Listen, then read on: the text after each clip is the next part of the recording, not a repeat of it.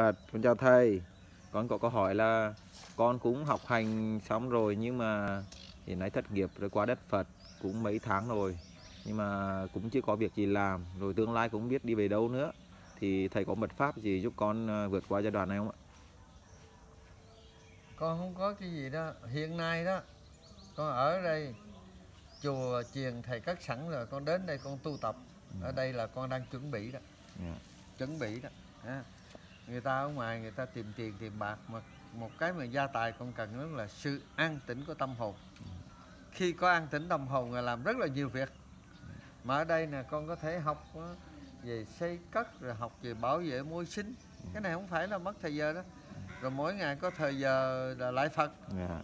thấy không? Dạ. thưởng thức những cái cảnh đẹp của thiên nhiên hùng vĩ con giờ con ở bây giờ con có tiền con làm sao con thấy cái cảnh mà mấy con chim hạt này nó nó hát nó chào con Dạ. thấy không Dạ. nó thành ra không có sợ mỗi ngày là phải sử dụng thời giờ Dạ. ở, ở đây học về xây cất nè học về vậy đó à, bao nhiêu chuyện Dạ.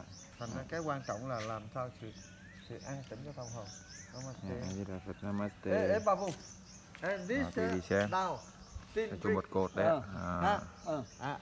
This, uh, after the, after Bahuddhi stuff, uh, ठीक है, okay.